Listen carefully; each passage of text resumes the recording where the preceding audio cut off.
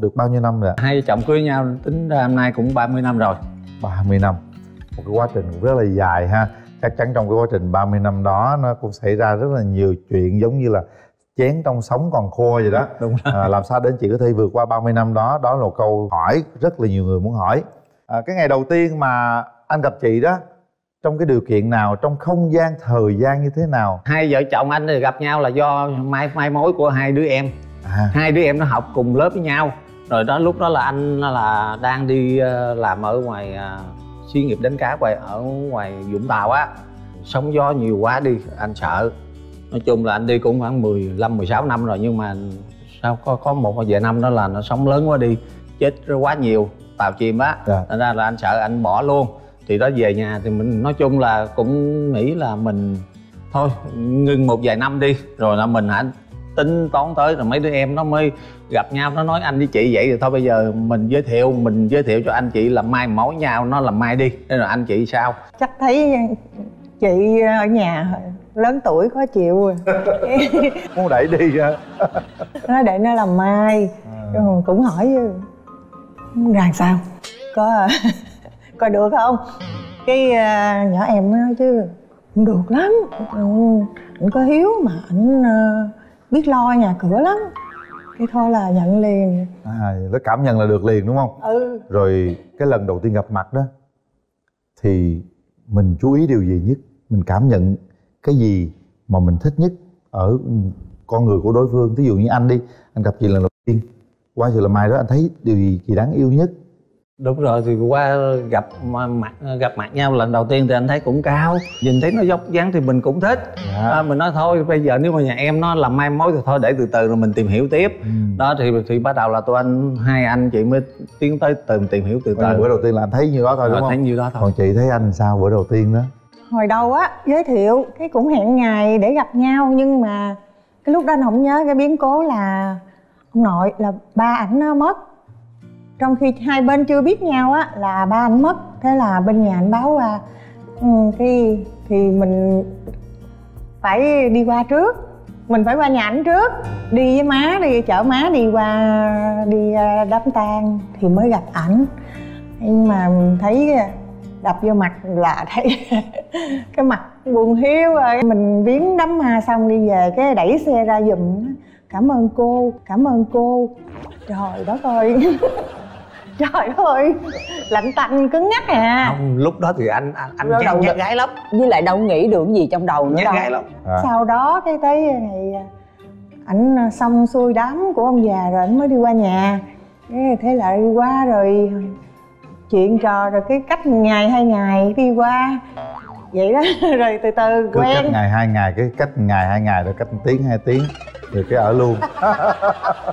Từ lúc mà cái ngày định mệnh đó đó à, cho đến ngày cưới nhau thì bao lâu? Cái ngày mà anh đi qua tới bên ờ, nhà để mà mình coi như biết mặt trước đó thì là ngày 8 tháng 3 thì sang đến là hai 29 tháng 11 phải không em? Ừ, đúng rồi cưới. 29 tháng 11 là hơn 8 tháng đó. Dạ, hơn 8 tháng. Hơn 8 tháng. Vậy trong 8 tháng đó là chú nói yêu cô cái lúc nào cái lúc tháng nào? Thì những cái đêm mình qua mưa dầm thấm đất mà.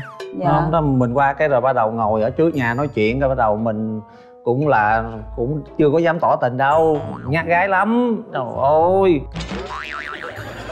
Nhát gái lắm. Rồi sao? Tại vì xung quanh năm suốt tháng ngoài biển không mà gặp gái sợ lắm. Thành ra đi qua đây mới bỏ nhỏ từ từ. Nó nói ừ nhà em sao làm ăn sao? Này nọ. Mình cũng mới hỏi một vài câu. Không xuôi cái bắt đầu thấy sao tự nhiên Có không nắm tay.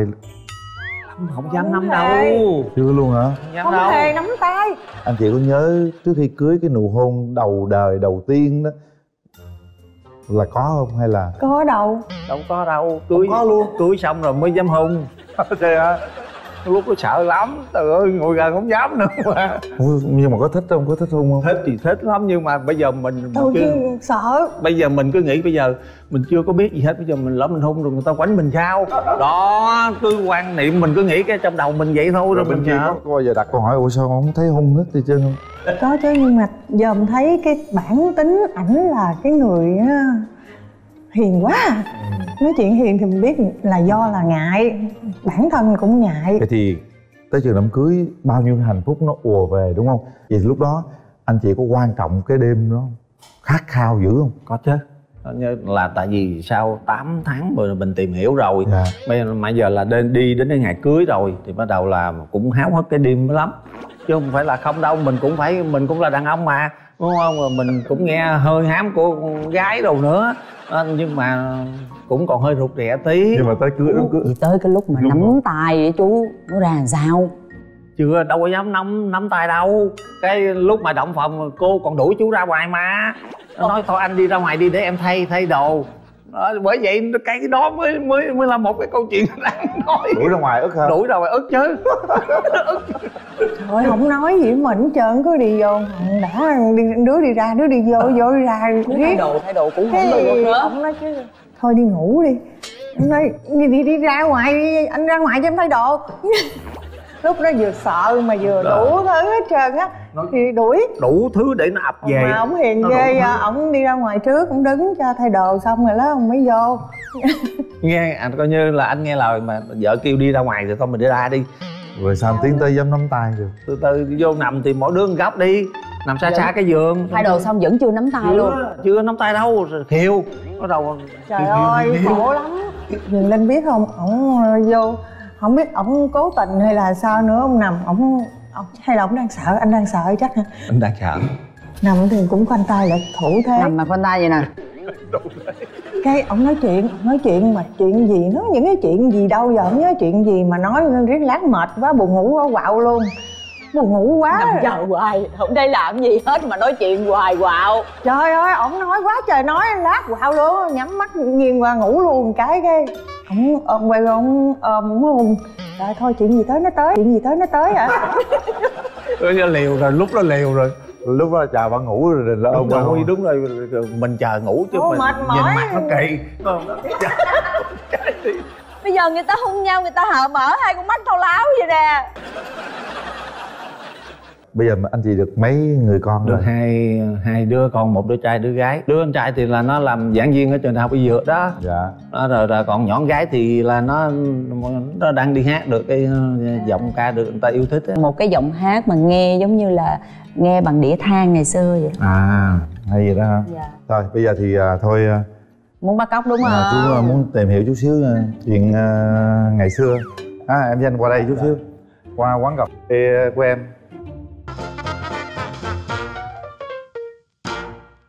đây là quán à, ba của tình trăm năm. Menu trở lại thanh xuân tình trăm năm. Trăm năm hạnh phúc rồi ngày bà, bà nay rồi tuổi à, mộng xứ hoa rồi mực tím rồi tình phúc vàng. Anh à, có thể dùng một à, loại thức uống nào anh phải à, chọn ạ? Thôi thôi thôi ờ, cho anh cái trăm năm hạnh phúc đi. À mời anh. Rồi, cảm ơn. Dạ trước khi à, anh được làm mai mối á thì năm đó anh bao nhiêu tuổi nha? Đó là anh à, hình như 31 tuổi. Anh có trải qua mấy mối tình? Có đâu. Đi làm suốt thôi. Nói nói chung là lúc mà từ nhỏ đến lớn lên á đến năm 16 17 tuổi rồi thì là gia đình cha mẹ cũng khó khó khăn. Thành ra lúc đó là vừa học hết lớp 12 là anh nghỉ luôn. Để để đi theo tàu đi ra ngoài Vũng Tàu đi theo mấy tàu đánh cá đó. Dạ đi ra ngoài khơi đánh cá đó. Có khi chuyến đi cả tháng tháng tháng hơn tháng ừ, Dạ. mới về. Tối ngày cứ vùi đầu vô cá công việc rồi tàu bè chứ đâu có là mà lên bờ được bờ đâu mà biết mặt cô gái nào bây giờ mới nhát gái. Từ- từ đó đến lúc đi biển gặp chị là chưa có một cái suy nghĩ một người con gái nào khác hết. Không có suy nghĩ gì hết. Dạ. Rồi anh à, đến với chị như vậy là cũng 30 năm rồi. 30 năm một thời gian khá dài. Những cái lúc mâu thuẫn tranh cãi với nhau thì ai là người xuống nước? Anh anh xuống nước. Anh có bao giờ chị nói đến mức tổn thương anh không? Không nói nói chung là thì à, hai vợ chồng anh à, lúc đầu thì là do mai mai mối cũng không hiểu nhau nhiều nhiều đâu. Nhưng mà giờ mình sống chung với nhau thì bắt đầu là cơm sôi nhỏ lửa mà. Ví dụ như mà lỡ lúc nào anh mà cảm thấy anh nóng quá đi anh bức xúc một cái gì đó thì là chị nó sẽ im. À. Im coi như là để đó từ từ rồi nói ví dụ như những lúc nào mà anh ngồi anh nằm đó đó đi nằm kế bên đó rồi to nhỏ anh thì lúc đó là anh sẽ nghe. Ừ. chứ mà còn đừng có làm lên nó lớn chuyện lên rồi nó không hay. À, đó là- rồi anh anh cũng vậy. Ví dụ như vợ nó giận lên thì thôi anh nín không anh xách xe anh chạy ra ngoài đường anh dụ chồng uống cà phê. Ôi giờ ức quá chị la ức quá rồi muốn cãi lại không? Thôi cãi sao được cãi vậy này nó không đẹp mình nói vậy trước mặt con cái nó cũng không hay. Ừ. nên ra thôi nhịn đúng nhịn không đi một Dạ. con nhịn chín câu lành trong cái giai đoạn trước đó không có yêu thì lúc đó anh cũng nghĩ trong đầu là coi như bây giờ là đã trên danh nghĩa là đã đã là vợ mình rồi. Thì bây giờ là mình phải thương chứ nhưng mà nói thương là là là thương. Chứ mà nó hai cái khác nhau thương với yêu đúng nó, rồi nó thương khác với nhau. lúc đó anh thương là thương người ta thấy mình ờ, nghèo Dạ. cực khổ mà người ta vẫn đồng ý mình thì là thương. Thương. Chứ còn là sau khi mà sanh con xong rồi mới bắt đầu yêu. yêu đó là yêu cho đến bây giờ mới sống được tới bây giờ. Vậy thì trong cái giai đoạn mà thương và yêu 30 năm đó có bao giờ anh thấy một cô gái đẹp nào đó mà anh sao xuyến hay là cảm giác thấy thích một cái cô nào đó không? Có chứ. Có hả? Nếu mà nếu mà mình mà nói không không có là mình nói dối lòng mình không có. Dạ. người đàn ông mà lúc đó là con đứa con vợ nó đang nuôi con mà thì ra mình cũng nhìn thấy người này người nọ thì mình cũng có một chút nào suy nghĩ thoáng qua. Nhưng mà rồi thôi xong về đến nhà rồi là mình chỉ biết vợ con mình thôi. Vợ con mình là lúc như đó, đó là là số 1 rồi. Ngoài nắm tay vợ mình còn có nắm tay cô nào khác không? Có nắm tay con gái không không nắm tay ai hết. Gái ruột của mình đó con gái đó. À chứ là cuộc đời anh chỉ có nắm tay hai người đúng thôi. rồi nắm tay hai người đó là thôi. vợ và con gái đúng thôi. rồi không nắm ai hết. Hay quá vậy ta. Là điều gì để anh có thể gọi là à, vượt qua những cái cám dỗ đó thương vợ thương con thương vợ thương con. Thương vợ thương con. Chỉ có quan niệm ở trong đầu lúc nào cũng nghĩ đến vợ đến con. Vậy thôi. Anh đi làm công việc gì? Anh làm ở trong sân bay tân sơn nhất nè. À anh làm trong sân bay. Đúng rồi. Vậy chắc có khi nào bạn bè rủ đi uống bia ôm không? Không đi uống bia cái đó là anh anh hỏi trước à. À. Anh hỏi đi uống bia bình thường thì kêu tao đi. Còn nếu mà đi uống mà gọi là gác tay gác chân thì, thì tụi bay đi tao đi về tao gác ở nhà. Mình không thích hay sao? Không thích. Ủa sao đàn ông cũng có người không thích uống bia ôm ta? Uống bia bình thường thì uống bao nhiêu anh cũng chiều hết. Cũng chịu hết nhưng mà còn ngoài đó là thôi. Tụi bay đi đi đi. Có bao giờ đi gọi đầu massage mấy bàn tay cô gái đẹp đẹp mát mát sao? Không có rồi em tốn tiền. Anh chỉ nghĩ có cái bao nhiêu đó thôi. Đâu có phải là người ta vô người ta cho mình không đâu mình sợ tốn tiền hay mình sợ cám dỗ cô gái đó. Sợ tốn tiền sợ tốn tiền không có về lo cho vợ con vậy thôi. Hay quá. Không có phải sợ sợ là cám dỗ gì mình chỉ sợ ờ, ví dụ như lãnh lãnh lương được triệu đi nó rủ đi uống 500 rồi lấy tiền đâu nữa về mua sữa cho con. Đó thì thành ra mình dẹp bỏ những cái cám dỗ đó qua một bên đi chứ nói cám dỗ có là có đó Có. có suy nghĩ đó. Thế nào cũng được bạn bè Đúng. rủ đi uống bia ôm rồi đi massage. rồi mình tới đó mình biết cái chừng mực giới hạn đó thôi vậy thì những người đàn ông có tiền đôi khi là người ta xài phung phí bằng cách đi uống bia ôm hay là massage đúng không? Quá phung còn mình khó khăn quá đúng không? Đúng. Cũng may là anh khó khăn đó. Chứ nếu mà có tiền chút cũng đi rồi đúng không? Không có rồi chắc nhưng mà cái bản chất của anh vậy chắc, chắc anh không đi đâu. À hay quá. Thật ra nãy giờ linh nói chuyện với anh để hiểu hơn về con người anh thôi. Thật là tuyệt vời. À, cái điều này à, đàn ông như anh là hiếm lắm á nha. Hiếm lắm lan ơi ngày xưa cái lúc mà cô sanh người con đầu tiên là gia đình mình có khó không cô? Khó khăn rất không? là khó khăn. Tại vì cô nói thiệt là cô dở lắm. Cô không có phải là người vợ làm ra tiền mà cũng không có giỏi mà um, dán khéo như người ta đâu. Nói chung là cô dở. Chỉ có mình dựa vô mình chú à. Cho nên là gia đình nó khó khăn lúc đầu nhưng mà thì thì bù lại. Cô biết mình dở cái đó cho nên cô cố gắng cô chăm con. Dạ. cô chăm con rất là tốt có bao giờ mà cô với chú có cái có cái mâu thuẫn gì mà tới mức mà cô hoặc chú phải bỏ đi không? Có chứ. Có lần đó, cô dở thì tại cô dở cho nên cô biết đó. Cái thời gian đó, má chồng cũng bị thất vọng về mình. Cô thấy ờ, cô thua thiệt nhiều quá cái mình nghĩ trong đầu là mình đi ra ngoài đi. Thấy bao nhiêu người người ta đi ra ngoài bạn bè, họ làm ăn được á mình nói mình phải đi ra ngoài để mình kiếm tiền. Vâng, mình vươn lên. Ừ. rồi sao nữa cô? Nếu mà nói với ổng là ổng không cho đi đâu. Dạ. Cái à, ổng à, sáng sắp sửa cho hai đứa con ổng chở hai đứa nhỏ đi học. Ừ, ờ bye bye đàng hoàng cha con vừa ra ngoài là mình đang trong này ngồi thụp xuống khóc. Nhất định bữa đó đi mà. Rồi cái đóng cửa là khóa cửa lại đi. Lúc đó cũng 30 tuổi rồi mà khờ câm đi ra đường hỏi chứ công việc đâu mà nó có sẵn. Thì đi ra cái tấp về nhà cái đứa cháu để hỏi nó là giờ gì gì đi làm cái gì đây? Nó nói cái gì thì gì cũng phải chờ từ từ đó chết đâu được. Con tao mỗi ngày nó mỗi đi học rồi ai lo? Bước ra đường chú nhắn tin chú gọi réo rắt chú thế, thế là nhắn về chú nói là em quyết tâm em đi kiếm tiền. Nhưng mà thấy là không được rồi giờ mắc cỡ quá. mắc cỡ quá cái. Giờ sao về không lẽ nói anh em đầu hàng hả? Không có. Rồi sao nữa? Cái nói nhỏ cháu nói. Ê bây giờ á dượng á thì nhắn gì về á mà tao đi về không được. Mày nhắn về cho dượng đi mày nói là con gặp gì con giữ gì lại nè. Thế là nhờ nhỏ cháu về để về đỡ bị bẻ mặt. Cô bước ra đường rồi phải quay về. Không có buông được con mình ra không có buông được chồng không có đủ sức vị trí ở trong xã hội như vậy là cô quá giỏi rồi. Lúc đó mà cô tự ti về bản thân của mình là là cô hơi bị tiêu cực đó. Không phải cô dạy con cô ngược lại với người ta. Cô biết cô dở hơn chú. Cô để chú là cái cái người mà con nó sợ trong nhà. Cô á cô không có nói với con những cái điều cao siêu gì cô chỉ cho con thấy nè. Bạn mẹ như vậy đó bạn mẹ hồi đó bằng mẹ có khi thua mẹ nữa bây giờ người ta vậy vậy đó con biết tại sao không tại mẹ dở á. Tụi nó nhìn thấy nè lẽ ra mẹ mua sắm cái này kia được cho tụi con giống như người ta đó. Ừ, tại vì mẹ dở. Cô lấy cái gọi là mình là tấm gương phản diện trong nhà. Nhưng mà được cái tụi nhỏ nó cũng ngoan. Tính ra cô may mắn nhiều. Được cái người chồng tốt rồi hai đứa con nó ngoan. Cô là yeah. người vợ người mẹ may mắn cho tới giờ cô khẳng định là như vậy.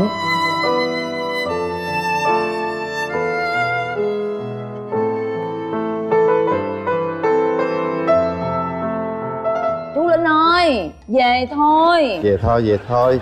Bên kia gọi rồi. Bây giờ thì họ yêu nhau rồi không có gì để nói chuyện nữa. Những câu chuyện tình ngày xưa bao giờ cũng thế. Lúc đầu họ có yêu gì đâu? Ngày họ xưa có thương mà. gì đâu? Dạ. Nhưng cuối cùng họ vẫn sống đến răng long đầu bạc đấy thôi. Câu chuyện anh chị cũng là một cái câu chuyện mà mọi người à, phải nói cũng à, chiêm nghiệm mình nhìn lại. À, chỉ có tình yêu thương, vợ con, yêu thương gia đình thì chúng ta mới thoát khỏi tất cả những cạm bẫy trong cuộc sống. Chỉ có tình cảm dành cho nhau, có sự hy sinh, chia sẻ, nhẫn nhịn lẫn nhau thì mới có thể vượt qua phong ba bão tố. Con nghĩ là trước khi mà cô chú nói với nhau cái điều gì đó thì mình đọc thư trước đi. Đây là một lá thư mà của cô viết gửi cho chú. Anh thân yêu. Chưa bao giờ viết thư cho anh kể từ ngày mình quen biết rồi cưới nhau. Cuộc sống cuốn trôi mình theo vội vã, ngoảnh lại, hai đứa đã già hết rồi. Cho đến giờ, em vẫn hãnh diện nói rằng em đã rất hạnh phúc khi nhận lời lấy anh. Khổ cực đã qua, làm chúng ta càng thương yêu nhau hơn. Giờ, hãy mạnh khỏe và vui vẻ đi với em hết quãng đường còn lại nhé anh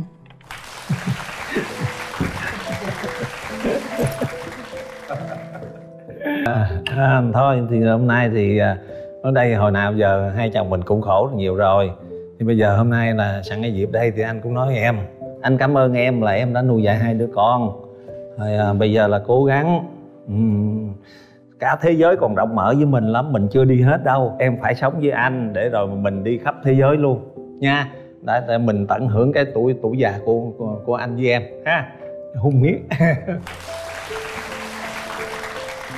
hồi đó mình nói là khó khăn chỉ nói bằng hai chữ khó khăn thôi. Mà nguyên cái quãng nguyên cái quá trình đó nó nó kinh khủng. Lúc đó mà buông tay nhau ra rất là dễ dàng. Nếu buông ra bây giờ làm gì có được hai đứa con tài năng để mình gửi cho xã hội? Mà làm gì có được một cái gia đình hạnh phúc như vậy? Cho nên mình nói là rất may là cả hai đứa đều kiên nhẫn lắm. Hai anh chị anh anh đi làm nhưng mà là tất cả vét lại hết là hai vợ chồng buổi sáng hôm nay là chỉ có đúng năm năm chục ngàn. Là bắt đầu phải chia. À, ví dụ như em. Thôi nè chia sao anh? Chia phần ra. Vợ chia không biết hả? Sao không phải chia hai chục ngàn ba chục ngàn mà là 15 ngàn với 35 ngàn? Vợ vợ ở nhà lo con thì phải 35 ngàn. Mình nói thôi anh đi ra đường anh, anh đổ xăng làm anh lấy thì 35 là ngàn. chỉ 15 ngàn thôi. Ví dụ như đổ xăng xăng rồi đó năm mấy năm chín hai chín ba đồ là nó có ba bốn ngàn diện lít thôi. Thì anh chỉ đổ một lít là anh đi làm đủ rồi. Sáng còn con ngàn thì bỏ túi đồ, đồ, đủ rồi còn em nhà phải lo con sữa rồi này nọ đồ là ba là ba mươi ngàn. Mà cái anh hai anh chị phải vượt qua ba bốn năm trời chỉ có bao nhiêu đó tiền. Có bao giờ anh ngồi anh khóc không? Khóc chứ. Nhiều đêm nằm chờ lúc bạn ngủ rồi khóc. Không cái lúc mà lúc mà cô đi á thì khóc ha anh khóc. Không đủ sức lo cho cho cho con đâu. Tại vì bây giờ thí dụ mà mình đi làm rồi mình không thể nào mình bỏ con mình ở nhà được. Phải có người vợ ở nhà. Cho dù như thế nào đi chăng nữa cũng có mẹ chăm sóc thì mình cũng vẫn yên tâm đi làm hơn. Đó thì khóc là gì vừa thương bà này rồi nghĩ đến con, rồi nghĩ đến cái số phận mình, sao mà mình, người ta làm quá trời tiền mà mình không phấn đấu để mình làm được. Thành ra mình buồn, mình tuổi mình giận cái bản thân mình. Đó, nhưng mà rồi thôi, mình cũng phải suy nghĩ tích cực lại, nói thôi, cuộc đời nó có số hết thì tới đâu đi rồi mình sẽ cố gắng hai vợ chồng mình nắm tay mình vượt qua. Thì anh chỉ quan niệm có một điều đó đó thôi, thành ra hai chồng mới sống được tới giờ. Chứ nếu mà tính toán về tiền bạc thì chắc hai vợ chồng anh chia tay lâu rồi Chú ơi hôm nay thì chương trình có một cái phần quà rất là đặc biệt gửi tặng cho cô chú. Nhờ cô chú hãy đón xem nha. Chiều nắng cuối ngày sắp tắt trên con đường. Kia bóng sáng hai người đang lướt trong hoàng hôn. Mắt em nhìn anh và mắt anh nhìn em đôi bàn tay nắm bao mộng mơ trên con đường xa.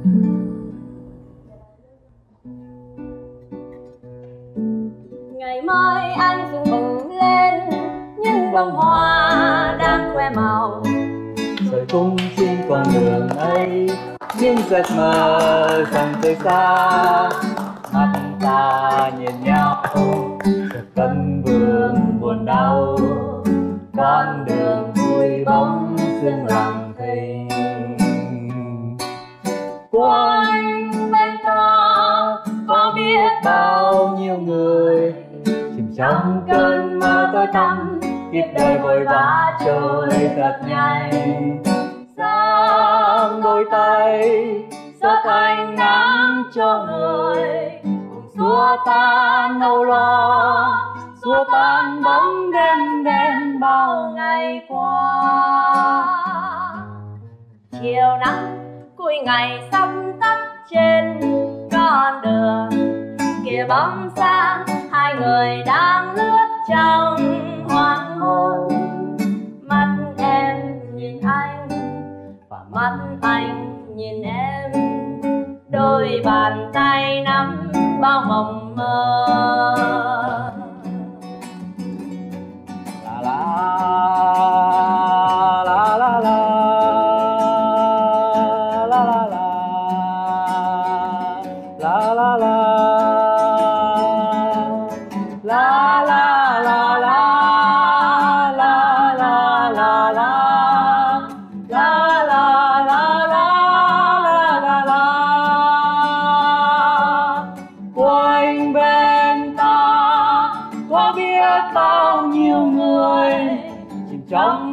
Mơ tối tăm kiếp đời vội vã trôi thật nhanh. Sáng đôi tay ra tay nắng cho người. Cùng xua tan âu lo, xua tan bóng đêm đen bao ngày qua.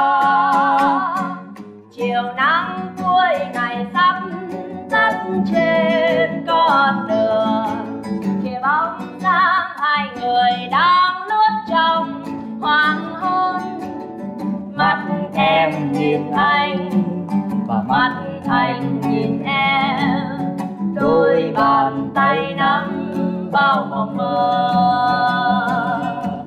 la la la la la la la la la la la. La la la la la la la la la la la la.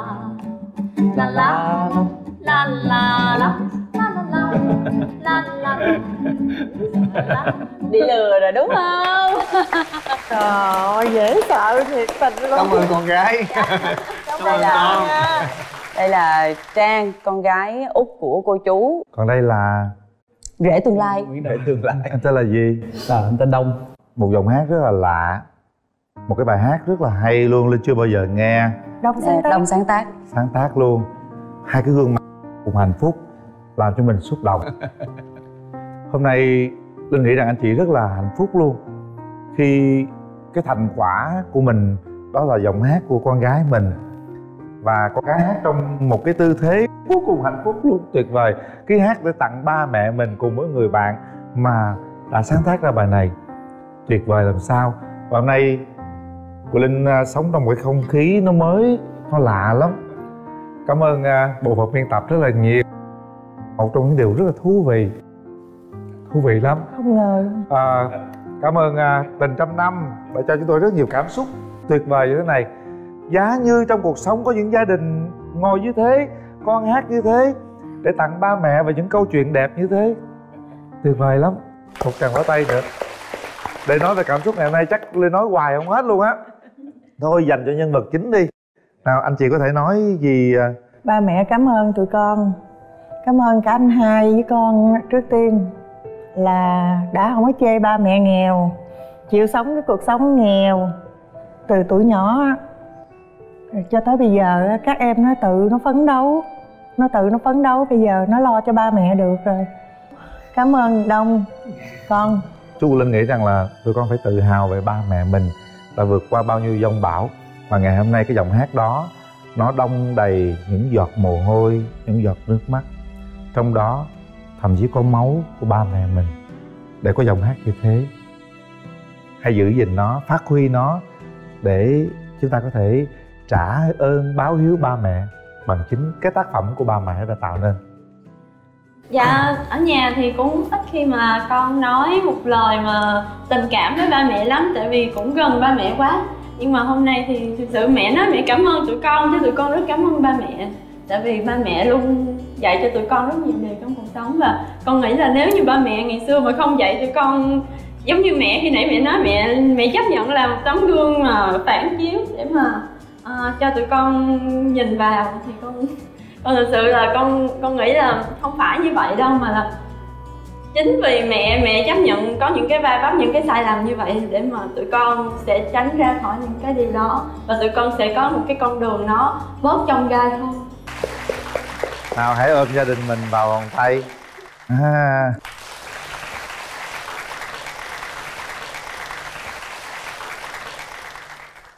Chương trình cũng có một số phần quà dành tặng cho cô chú ạ. đây là Alavio vừa qua nỗi sợ đái tháo đường với lời chúc ờ, sức khỏe dành cho cô chú Sản phẩm cốt súp heo của công ty Quốc Việt Food được sản xuất theo tiêu chuẩn FDA giúp cho món ăn thơm ngon, tròn vị và tiện lợi hơn trong quá trình chế biến. Sản phẩm không có MSG và không dùng chất bảo quản.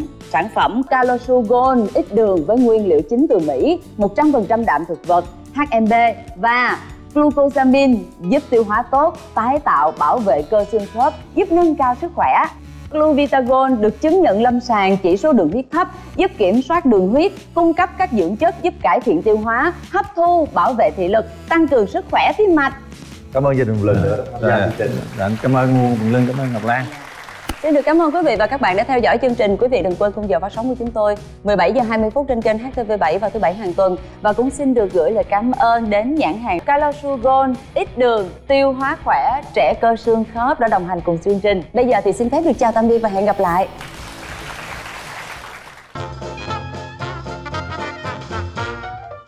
cái chế độ ăn ở nhà của mình á mỗi ngày á thường là mình ăn như thế nào ạ ăn tươi à tươi rồi tươi chia ra làm ba bữa chính.